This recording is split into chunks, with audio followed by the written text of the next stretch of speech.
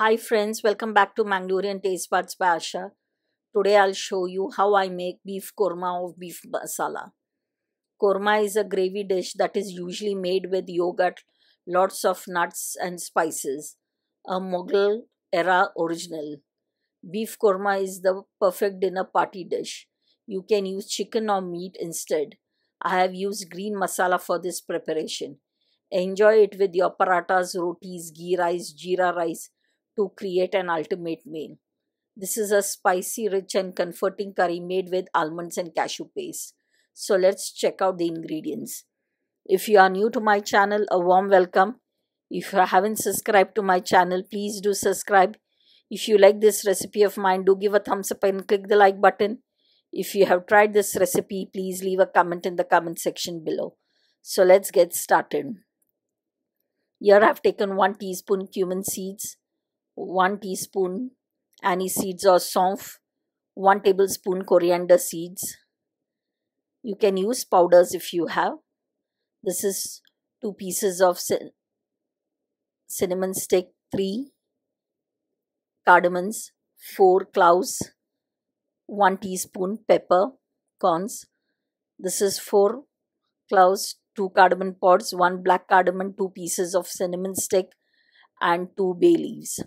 This is 4 green chilies, 1 inch piece ginger, around 9 to 10 cloves of garlic and a few coriander leaves. This is 2 large onions sliced. This this is around 750 grams of beef. This is boneless.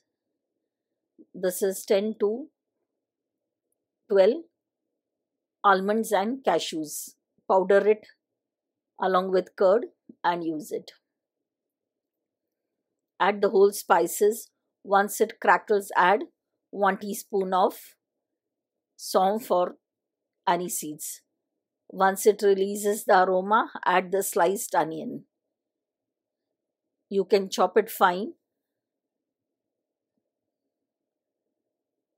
and cook till the onion is nice, soft and slight brown in color. Add the green masala paste.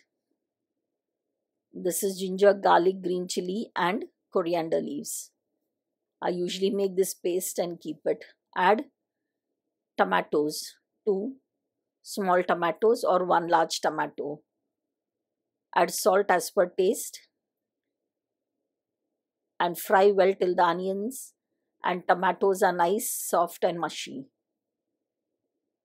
Add 1 teaspoon of turmeric powder. Give it a nice good mix. You can add more oil or ghee as required. Kormas taste good with ghee. This is the spice powder which we made. Add it to the onion and tomato mixture and keep frying till oil separates out from the masala.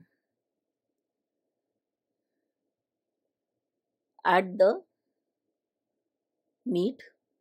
You can use chicken or mutton instead. You can use bone in also.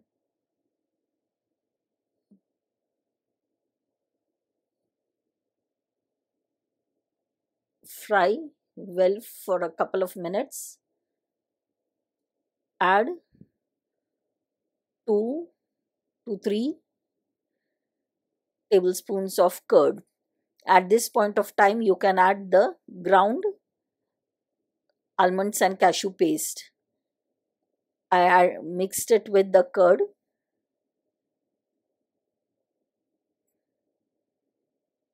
Add a little water if you wish and let it cook till the meat is done. Add 1 teaspoon of kasuri methi, 1 teaspoon of chili flakes. Kormas are usually a little spicy, but since we are adding curd and almonds and cashew, it becomes mild. Add 3 to 4 whole green chilies. This is optional. Add chopped coriander leaves. Let it come to a nice rolling boil. Best served with rotis, naan, parathas. Do give it a try. I'm sure you will enjoy this quick and yummy recipe. Thanks for watching. Please like, share and subscribe to my channel. And do not forget to click the bell icon to get notified as and when I upload a new recipe. The list of ingredients is given in the description box below. So my sweet friends, hope you have enjoyed this quick and yummy recipe. Stay tuned for more such interesting recipes. Till we meet again, check out my other recipes at Mangalorean Taste Buds by Asha. Bye. See you soon with the new interesting recipe. Take care.